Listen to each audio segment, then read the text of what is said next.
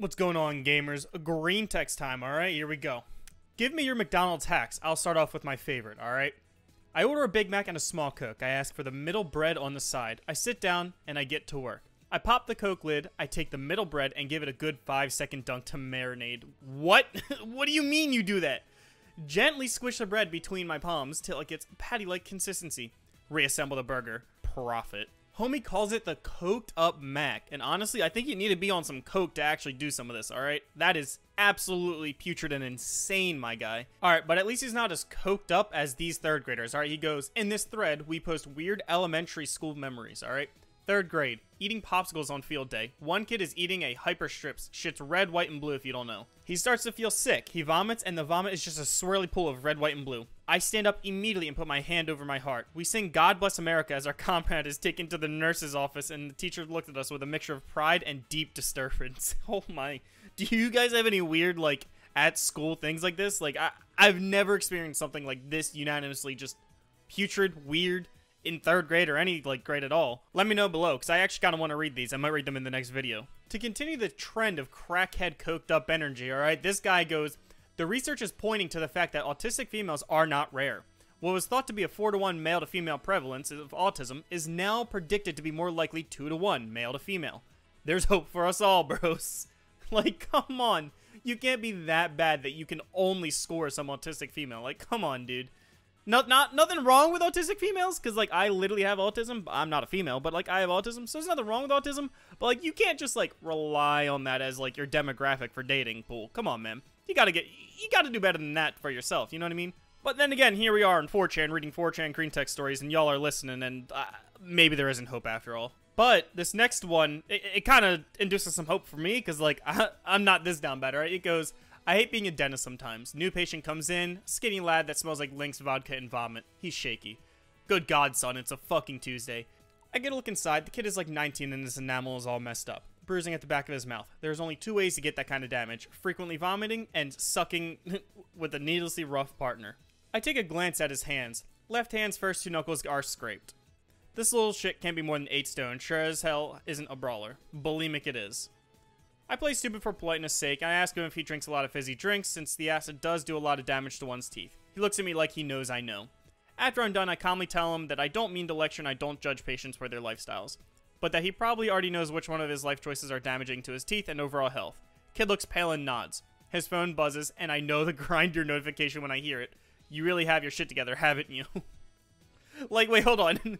wait, this is like a double-edged sword.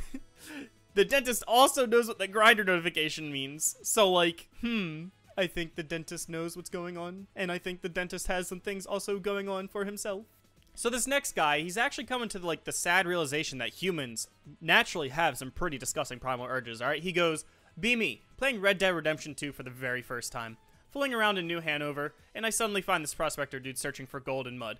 I actually stay next to him, hoping that he might find some so I can rob him. Oh shit, he actually found a .jpeg. He's jumping and dancing around looking real happy. Suddenly, my primal urges awake and I rob him. He didn't want to give it willingly, so I had to kill him. I loot the body, and oh shit, there's gold. I go to sell it. My face when it's only 25 bucks. I had goddamn $200 already, and I just ended some poor guy's life over 25 stupid dollars. I remember that the little dancing that he did when he found it, and I started crying. I turn off the game and I don't play it for the next couple of days. He was just an NPC in the game, and yet I feel fucking terrible. So far, I think the trend has been that like all these anonymous users are starting to find out something about themselves. Like you know, it's like the becoming of a man kind of thing, where just the barrier of entry is that you just have to do some weird stuff, and then you find out who you really are don't be like this guy. Or do be like this guy and only take out your urges on video games and don't take out your urges on real life people. Because if you take out real life people, then that's bad and you'll go to jail. Don't do that. That's bad. Now, this next guy is pretty bad, but it's not illegal, alright? He goes, Which one of you degenerates did this? Be me, 26. I live with my parents, 70 year old dad, and 65 year old mother. My mom often posts stuff for sale on Nextdoor.com. Always brings in randoms to the garage to sell them shit. One day, some 26 year old guy comes to buy something. Before he leaves, he asks if they can stay in touch. My mom is such a sweet little lady that she agrees. They text a little, and this guy is new in town and doesn't really know anyone yet. We get the vibe that he also doesn't have the best family life and kind of sees my mom as a sweet old lady mother figure. She's a very strong Christian. She thinks it's wholesome, and then we fast forward to yesterday, where he messages her, I miss you, beautiful. Says something along the lines of, I'm very attracted to you and I want to pursue you in an intimate way. My face when. She tells him this is extremely inappropriate and blocks him. Like, that's absolutely unhinged, all right? Like, the. I, don't even. I can't even make commentary on that. That is insane, dude. Props to the mother for not going through with it, because, like, the guy's 26, the same age as your son.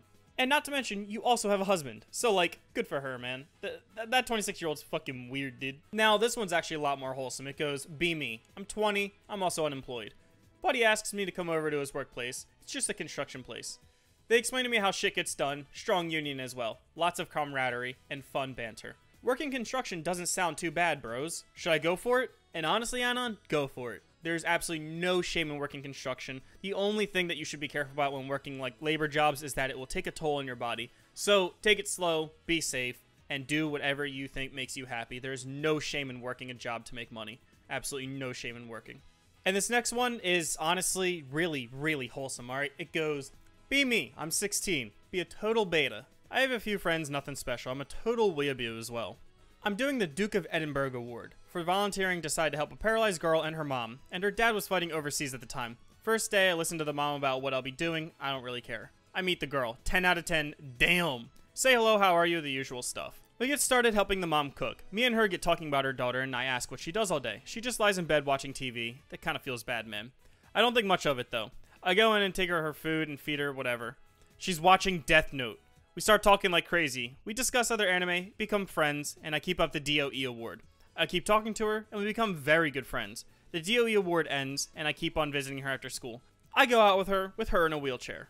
She's never been outside for a prolonged amount of time. We start kind of dating. I keep visiting her and helping out. I watch anime together for a couple of weeks. We get on to the Angel Beats, episode 10, find out Yui was paralyzed. I keep quiet, and then the marriage proposal scene. Engage over feel.png. 10 out of 10 girl asks if I would like her more if she could move. Tears are rolling down my face. I throw my arms around her and softly say, You are perfect the way you are. Don't ever change. That was the first time I ever hugged my wife. And honestly, that is unbelievably wholesome. And I thank you for sharing that with us, Anon everybody deserves someone like you and also her. So, that being said, let's continue the streak with the next one. All right, it goes, I held my boyfriend in bed last night. He goes, I like it when you hold me. He started crying, that face when I'm rubbing his back and kissing his hair while he softly sobs into my chest. That face when he keeps saying sorry and I had to tell him over and over again that it's okay. That face when he asked me not to leave him. That face when I'm never leaving him. It was a very weird experience. I never had a man cry in my arms before. All I felt was love and needed to protect him.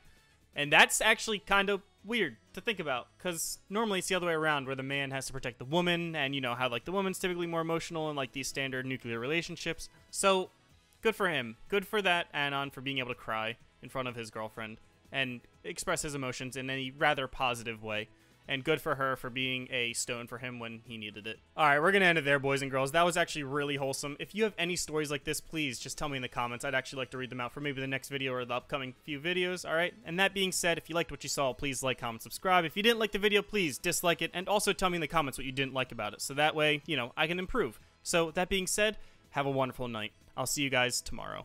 Bye.